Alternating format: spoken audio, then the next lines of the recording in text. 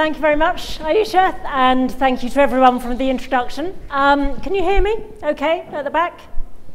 Yes, good. Excellent.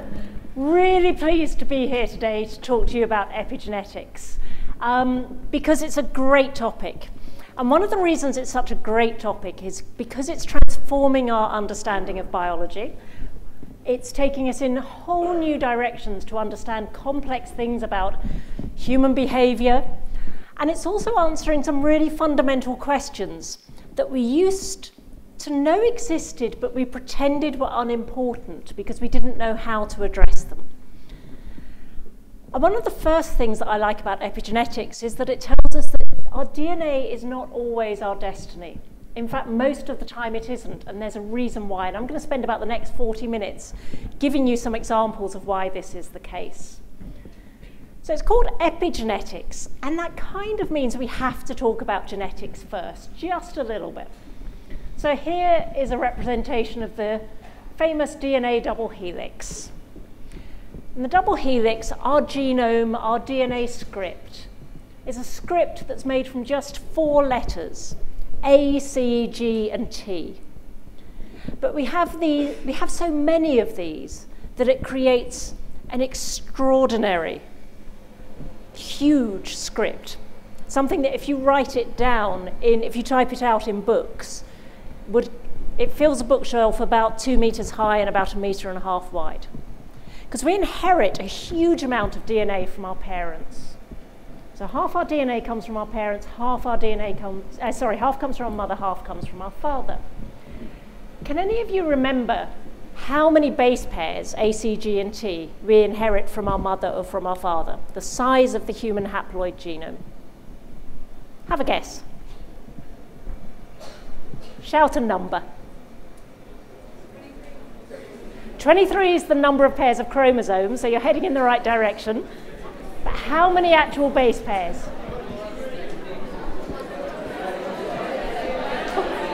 Okay, never expected it to be that lively a question. you inherit 3,000 million base pairs from your mother. Okay, some of you are pleased, yep. and 3,000 million from your father. 3 billion base pairs.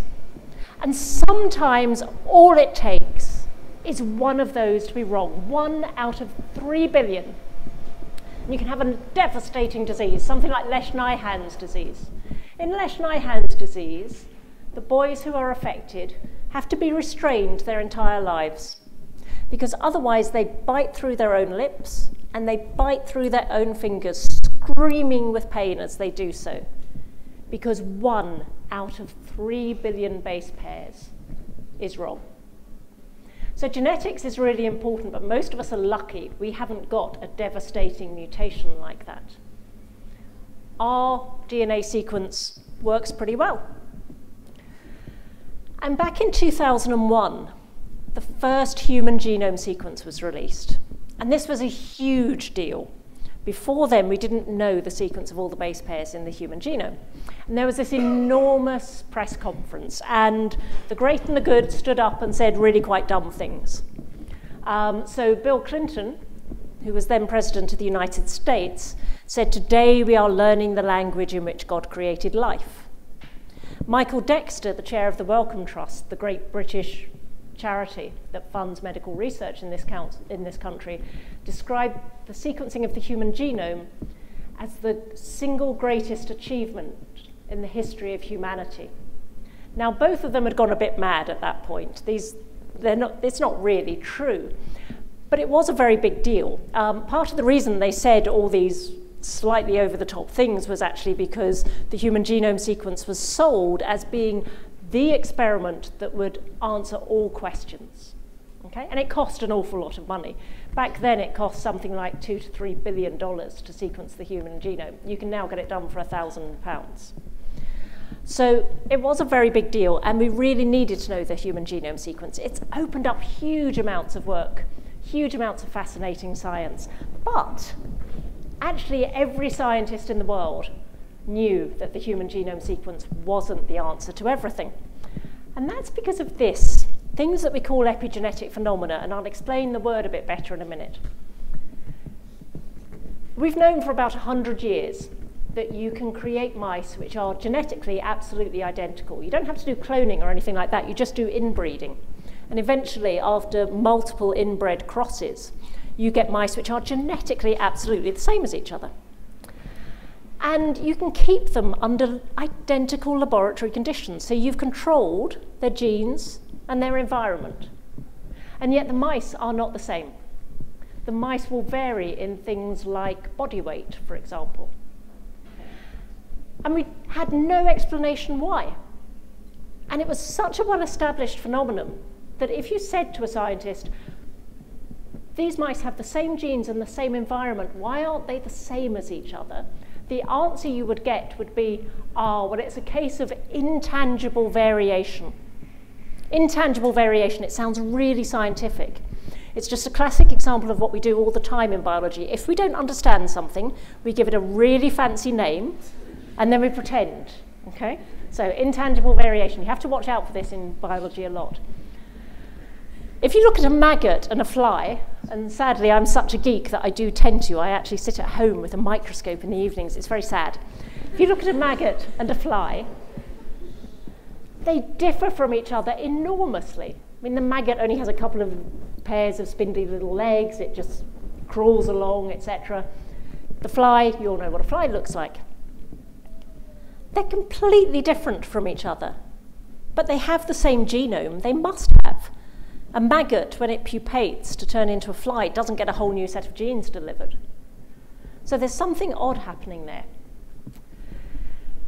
If I were to take DNA from this young woman and DNA from this young man, don't look so worried, I'm not going to, okay? and I sequence the DNA, I would be able to tell which came from you and which came from you. Because in mammals, gender is determined by genetics. You will have two X chromosomes. You will have an X chromosome and a Y chromosome. By the way, never ever use this example if you're working in quite a dark lecture theatre. Because I once did this with the audience. You will have two X, you will have an X and Y. Turned out they were both men. It was really embarrassing. it's awful. It never really recovered from that point on, to be honest.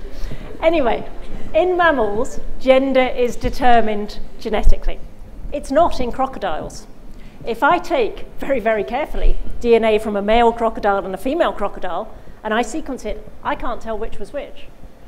Gender in crocodiles is determined by the temperature at which the eggs incubate.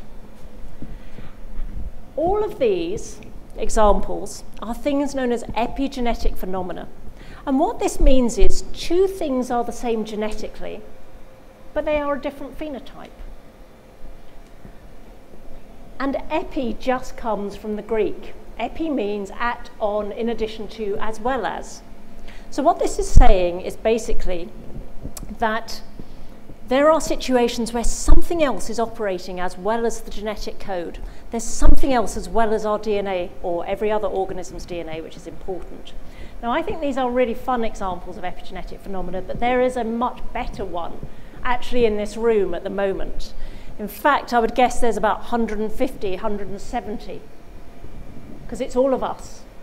We are all masterpieces of epigenetics. Normally I ask how many cells in the human body, but given how animated you got about um, the number of bases in the genome, I'm not going to. I'm going to tell you.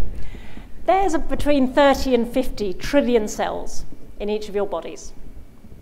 That's an extraordinary number of cells, and they form hundreds of different cell types.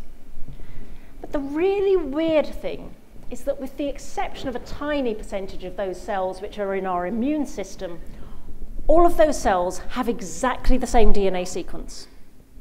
They're all absolutely identical, and they're all identical to the zygote, that single cell from which each of us originated. But how on earth can that be? How on earth can it be that we have 200 different cell types, but they all have the same DNA? And those cell types know to remain as the correct cell types. How can it be that the skin cells only ever give rise to more skin cells? the kidney cells only ever give rise to more kidney cells. Never changes. You do not ever get bits of bone developing in your liver. You never, ever, ever get teeth appearing in your eyeballs, happily. Okay? Never happens. Our cells know what to do. So that's an epigenetic phenomenon. But if you're working in science and if you're working in biology, the questions you should always be asking are the how and the why questions. How can this be the case? How can a single genome code for so many different phenotypes? Well, I think a helpful way to think of this is um, that the genome is like a script, okay? Like a script for a play or a film. Some of you, despite studying science, have probably either volunteered or more likely been forced to be in school drama productions. And you'll have gone through the rehearsal process where you've got the script in front of you, and either with your classmates or with the drama teacher who's inflicting this torture on you, you have to annotate the script. You make pencil notes on it, or you certain lines get crossed out, or you put post-it notes on reminding you of the screen of the stage directions. That's kind of what happens to our DNA. Our DNA gets additional information added to it that in skin cells tells the DNA how to code for everything that's required for skin. Different set of stage directions on the liver cells. So it's very like having two productions of a Shakespeare script. Black and white one is from the 1930s. Okay? Used Shakespeare's script for Romeo and Juliet. The colour version is from the 1990s. It's the one with Leonardo DiCaprio and Claire Danes. Also used Shakespeare's script, but the two productions look completely different. That is what our cells are doing all the time. And I think all of that's very interesting, but it only gets us so far. If that was all that we knew about, I wouldn't be here talking to you because I wouldn't have enough to talk about for the rest of the talk. But something has changed particularly in the last 10 to 15 years. You're probably guessing already I like old movies, and this old movie is um, the movie called The Time Machine. It was made in the 1960s. Um, and anyone who's a fan of the Big Bang Theory will also have seen that time machine. Yes, very good, you'd already spotted that, um, which is in one of the earlier episodes of the Big Bang Theory.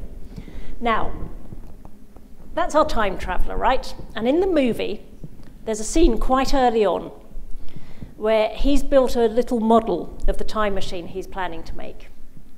And he, it's set in Edwardian England, and he gets all his mates around with their top hats on and stuff, and he says to them, This is going to be a time machine. This is a model of what a time machine will be. And they look a bit skeptical, as well you might, and they say, How would a time machine work? And he says, Well, the time traveller will sit in that seat. And when they want to move into the future, they'll push the lever forwards. And if they want to travel into the past, they'll pull the lever backwards. And all the blokes in the top hat nod and go, hmm, as if he's explained it. But of course, he hasn't explained it. All he's done is describe it. And up until 15 years ago, most of what we could do with epigenetics was to describe epigenetic things happening. The reason epigenetics is such a fruitful area of biology now is we're starting to understand the explanation. How do these things happen? And we're starting to understand them at the molecular level. And to understand that, you have to understand what DNA is really like in our cells. It's always presented as this long, stringy double helix like an incredibly long set of wavy railroad tracks. But it can't actually be like that. You see, if you take the DNA out of a cell and you stretched it out, it would be very, very thin, but it would be about two meters long. But it's got to fit into a nucleus which is about a thousandth of a millimeter in diameter.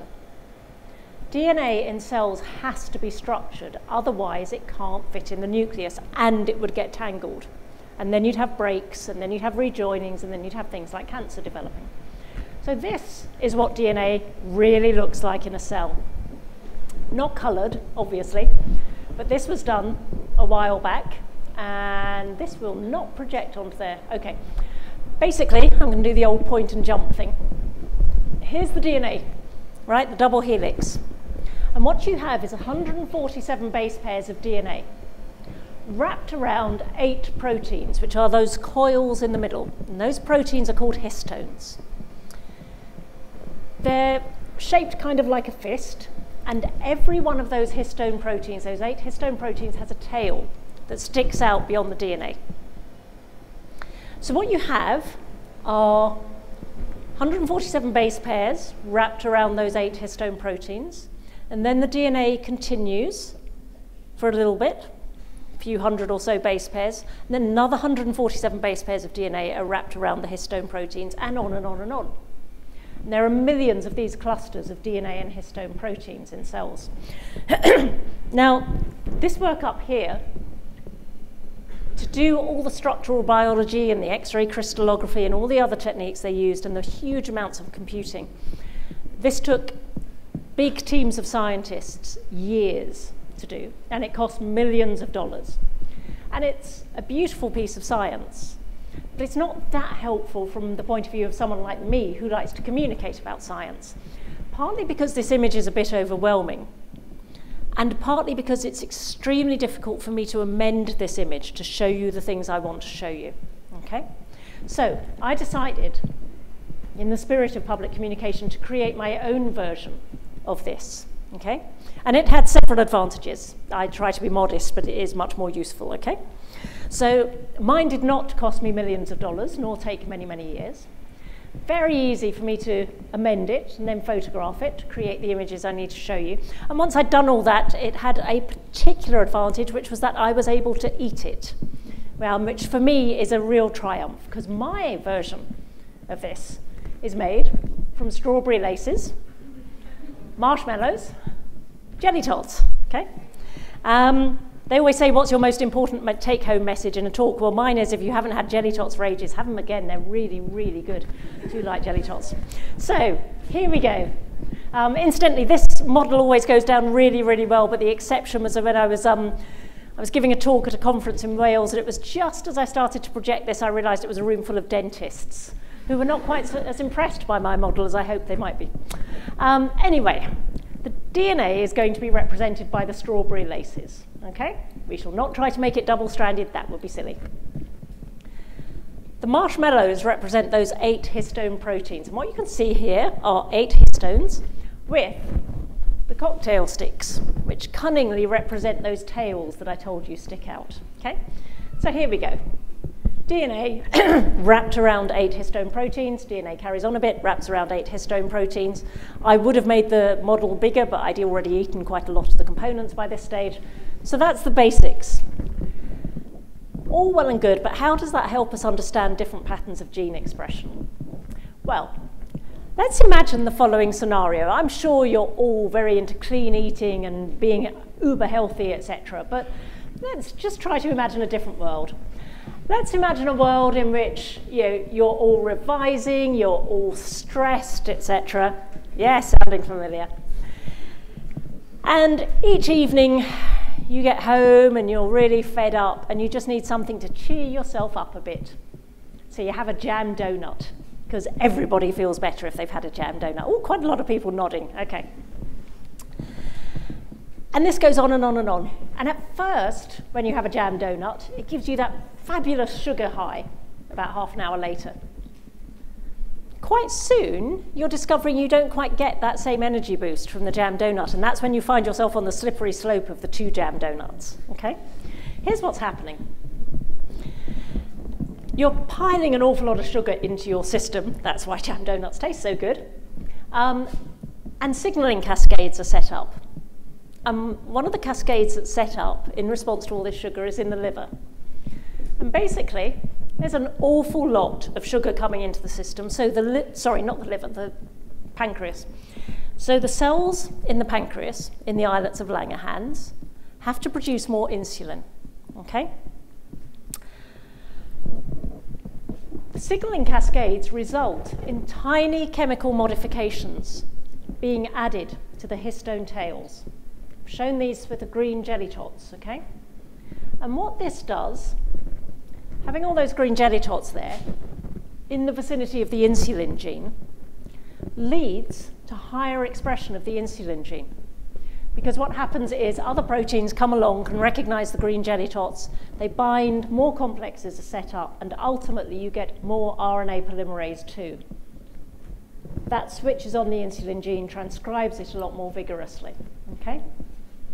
Now, let's say you're done with your exams, it's the summer holidays, and it does begin to dawn on you after a little while that the jam donuts may not be quite as healthy and nutritious as you were hoping and you stop eating the jam donuts. Okay? Now you're doing the classic holiday thing of, you know, healthy food, letting your mothers and fathers cook for you, all that kind of thing, lots of vegetables, blah, blah, blah. No point your pancreas creating huge amounts of insulin now because there's not much more much sugar coming into the system. It would just be a waste to produce large amounts of insulin. So what happens is that different set of signaling cascades are set up those green jelly tots that basically help to switch the gene on, those modifications are removed. Another set of modifications is added, represented by the purple jelly tots, my personal favorites. Okay? Different proteins bind to those purple jelly tots.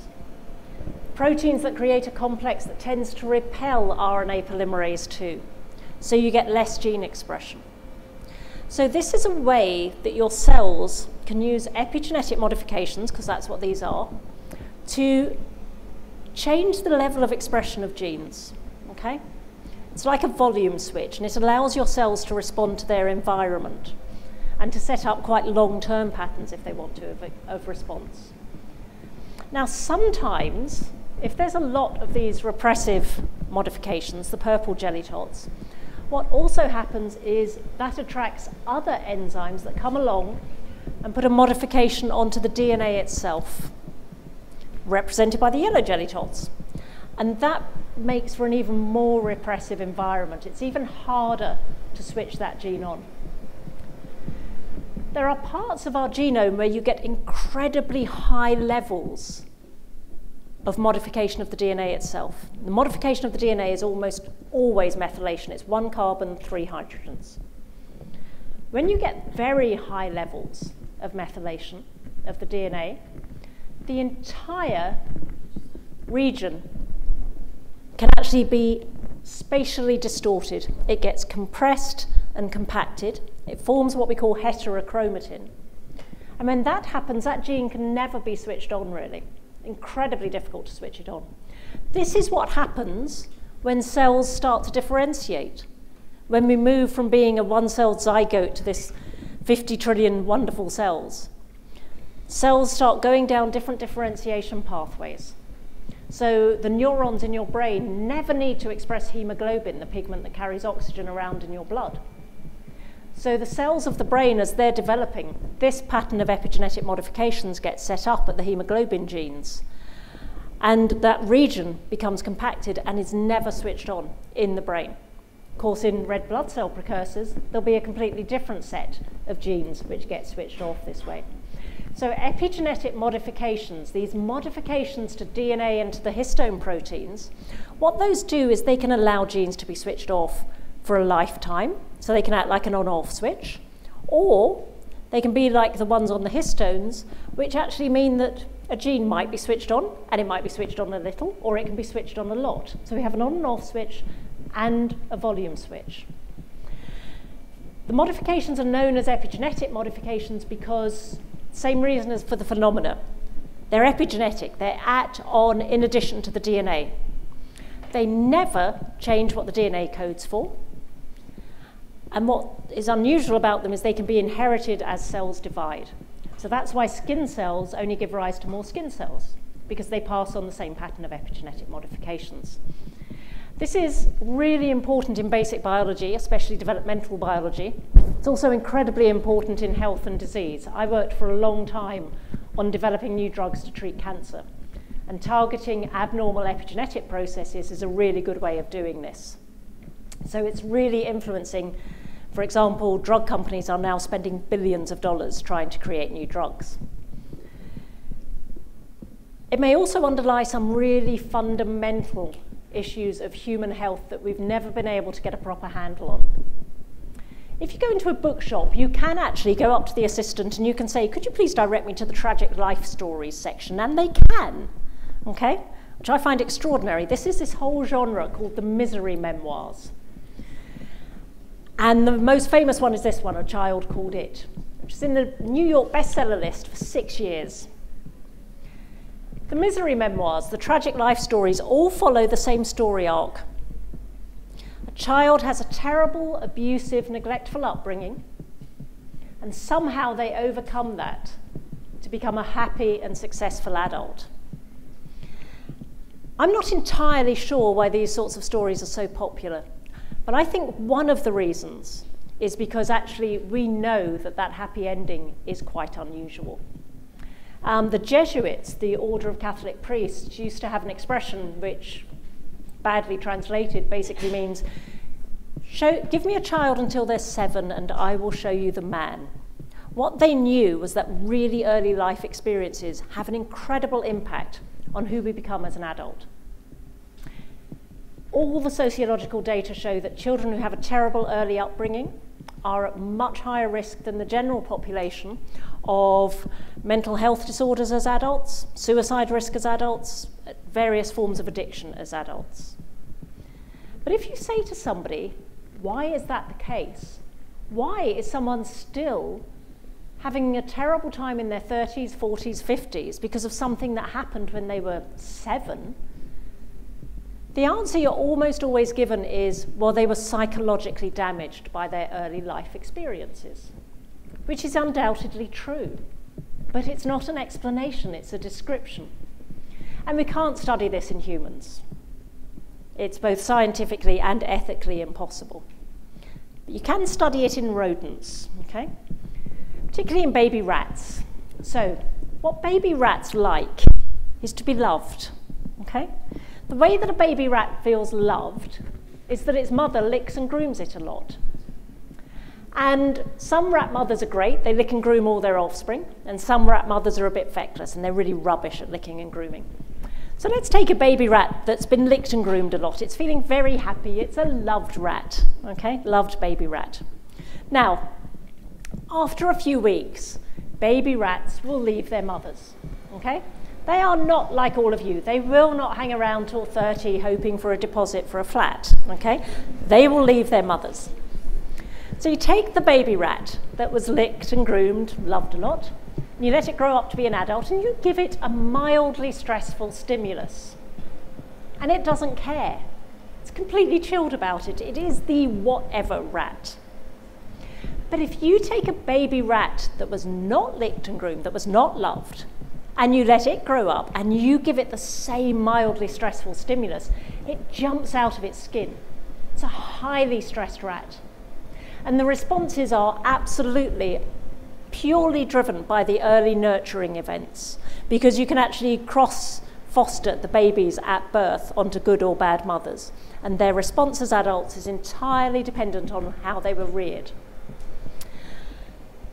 Now we can see that that has some analogies to the human situation. We also know that the very stressed baby rats have very high baseline levels of the stress hormones, stress hormones like cortisol. That's very consistent with what we find in adults who had abusive upbringings. What seems to be happening is that, excuse me, when the baby rats are licked and groomed and loved a lot, they produce large amounts of serotonin, the happiness neurotransmitter. And this sets up a particular pattern of epigenetic modifications at certain key genes in certain cells of the brain, and particularly in the hypothal hypothalamus and the pituitary. Those modifications are basically ones that result in particular patterns of gene expression that keep the background levels of stress hormones really low. Those patterns get established and maintained in the neurons, and they influence the behavior in the adult rats. So that's a really nice model of what might be happening in the children who are abused. That actually their brains are being set epigenetically to respond to a stress environment. And even if they're no longer in that stress environment, they can't adapt. And so they are at high levels of various mental health disorders, high level risk which is kind of interesting but makes sense. But let's have a look at something really odd now. We'll have a bit of a change of tack. Here are some really nice animals. A particularly magnificent stick insect, a zebrafish, rather gorgeous salamander. My personal favourites, the Komodo dragons, and zebra finches. All of these species, which represent all the major classes of the animal kingdom apart from mammals, can do something that mammals can't. The zebra finch, it's a really controversial example, but it does seem to be the case. Have you any idea what all of these animals can do that, hum- that mammals can't? Okay, I'm going to assume somebody said the right thing. All of them, the females can create live young without ever, ever having mated. Parthenogenesis. Mammals, the, the zebra finch one is really controversial, but it seems to be the case. Mammals can't do that. They just can't. And actually, if you say, why can't mammals do this? The explanation used to be, well, they can't, which of course is not an explanation, it's just restating what we know. So back in the 1990s, a fantastic scientist in Cambridge called Azim Surani did a beautifully elegant set of experiments. He took a mouse egg and he took out the nucleus. And then he injected two egg nuclei from other mice and put that egg back into a female mouse. He also did the same experiment, but instead of putting in two egg nuclei, he put two sperm nuclei in.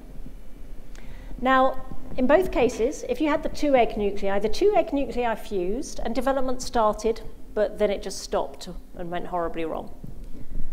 If you put in the two sperm nuclei, the nuclei fused, development started, went horribly wrong, stopped. But if you put in the egg nucleus and the sperm nucleus, and you reimplanted baby mice.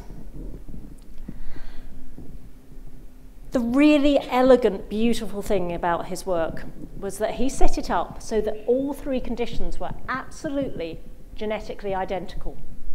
Whether it was two egg nuclei or two sperm nuclei or an egg nucleus and a sperm nucleus, the DNA in those three experimental conditions was exactly the same. This showed us something absolutely extraordinary. It showed us that mammalian reproduction is not just dependent on genetics, it's dependent on something else as well. We are all masterpieces of epigenetics, but we are all absolutely dependent on epigenetics. Not one of us would exist if it weren't for epigenetics.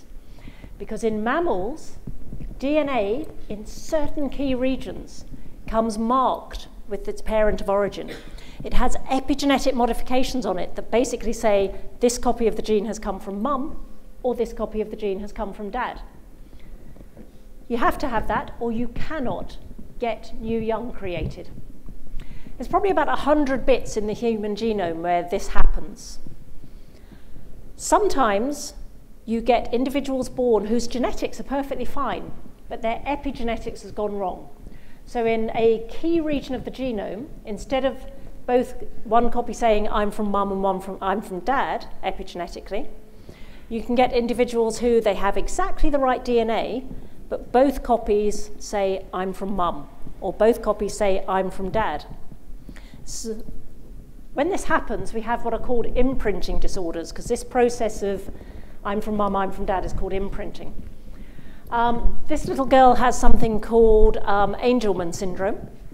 She's very small in stature. She has um, severe learning disabilities, very distinct behavioral phenotypes. This young man has something called Prader-Willi syndrome.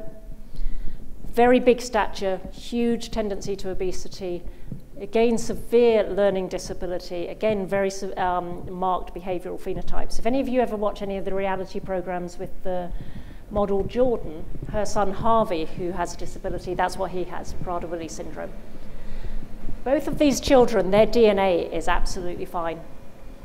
It's the epigenetic modifications they inherited on the DNA that have gone severely wrong. And actually, it's in the same region. It's just that one of them has two copies of I'm from dad and one has two copies of I'm from mum.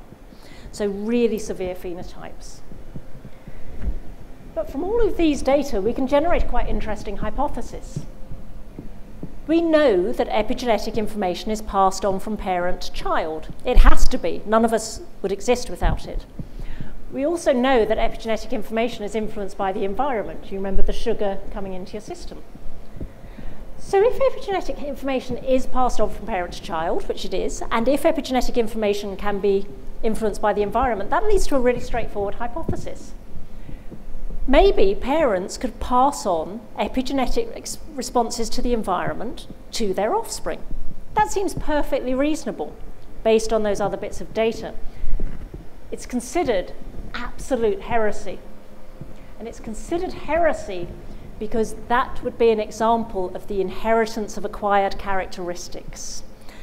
Before Darwin came up with his theory of natural selection, which is a beautiful, fantastic, marvelous theory, I'm well on side with Darwin, there was Jean-Baptiste Lamarck, the guy with the excellent sideburns. He was trying to explain why species may have developed, and he said, well, if we think about the ancestral species to the giraffe, when they were roaming the plains, those animals would have stretched upwards to pick the leaves. And that would have stretched their necks in the same way you get bigger muscles if you go to the gym a lot. They'll have stretched their necks and they'll pass on that adaptation to their offspring. Now, of course, once we had the Darwinian Mendelian model, we thought, well, this is clearly nonsense. What's actually happening is some animals naturally had longer necks. They were at an advantage because they could eat more. They passed on that advantage to their offspring.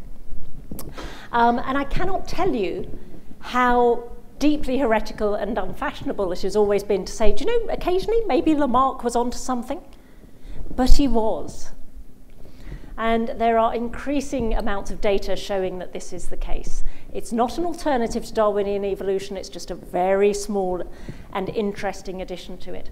And this is my favorite example. Um, it's my favorite example, though if you're a mouse or a rat, you don't always have the best of times in epigenetics.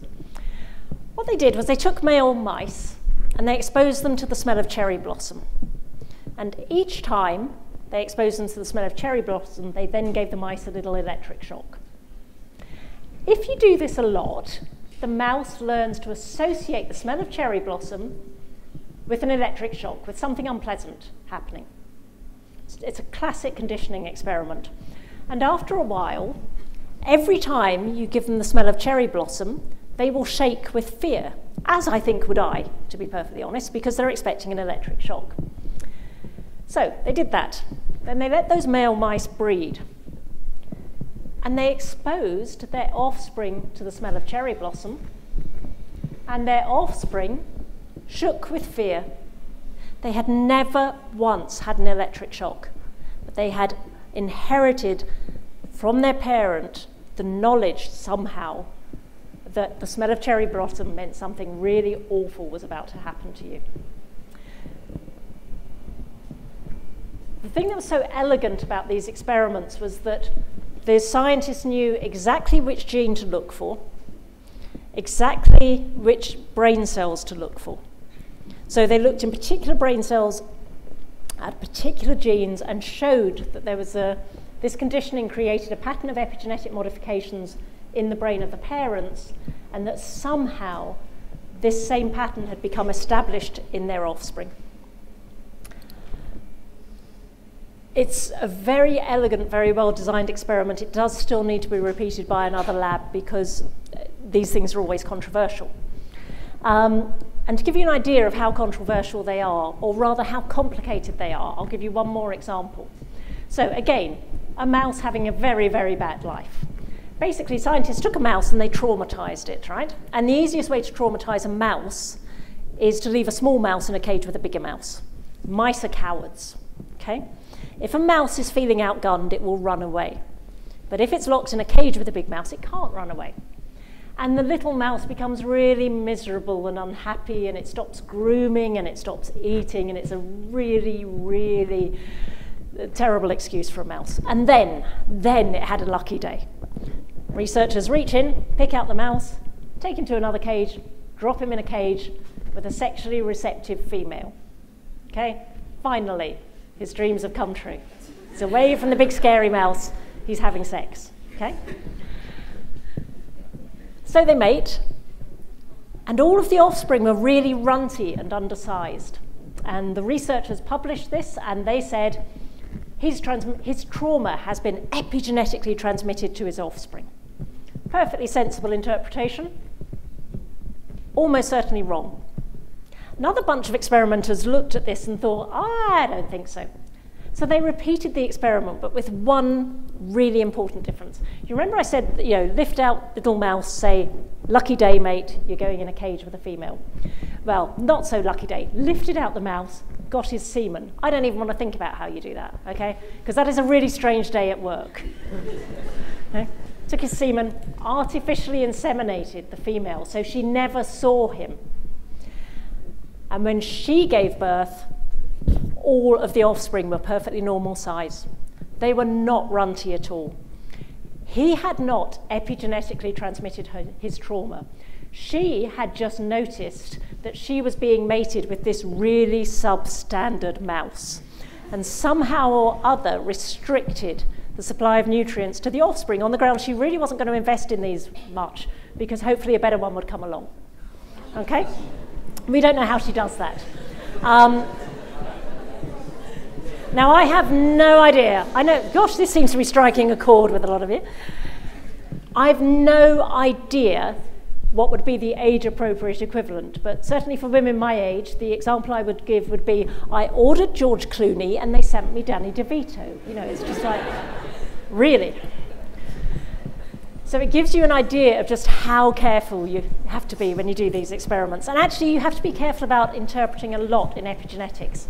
You're all at the stage in your careers and your scientific progress where you're going to be exposed to more and more epigenetic stuff, either in the newspapers or magazines or in scientific papers themselves, and ridiculous claims will be made. So I'm going to give you some hints on how to apply some common sense rules. The first is to remember that genetics and epigenetics work together. Scientists are really dumb. We do this thing of constantly going, no, no, it's my field that's important. No, it's my field. No, it's my field. Genetics and epigenetics work together. Okay? If you take away either bit, life becomes impossible. Um, cells don't think in the way that our brains do. Cells don't try and form sides. Okay? Stuff works together. Just because you see an association between two things, it does not imply causation. One of the biggest risk factors ever reported for lung cancer is carrying a box of matches in your pocket. It is not that the chemicals in matches give you lung cancer. But if you're carrying matches, you're very likely to be a smoker. Um, drowning deaths peak at exactly the same time that sales of ice cream peak.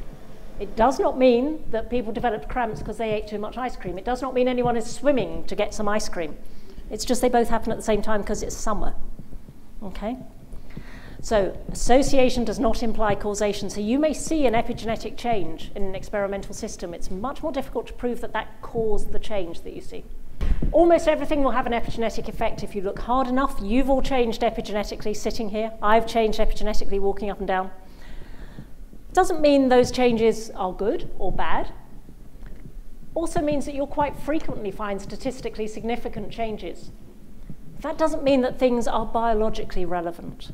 Okay, watch out for this. You'll see this all the time. Somebody does an experiment and they finally come up with some minuscule thing which is statistically significant. Doesn't mean it has any biological meaning. Just try and apply the common sense test. So watch out for stuff like that. Watch out to see if experiments really make sense. If somebody's looking at an effect in the brain and all their analyses have been done in the skin or the blood cells, oh, look at that, then um, may not matter because it may not be relevant. They're not looking at the right tissue. There's loads more I could tell you about epigenetics, but clearly the gods of PowerPoint have decided I shouldn't, which is fine. Um, let's think. If it weren't for epigenetics, it would be impossible to clone animals. But it's because of epigenetics that cloning doesn't work very well. Um, all tortoiseshell cats are female. And in fact, all female life depends on epigenetics because women have two X chromosomes. We have to switch one of them off. And the way we do that is by smothering it with epigenetic modifications that turn it off forever. Oh, thank you.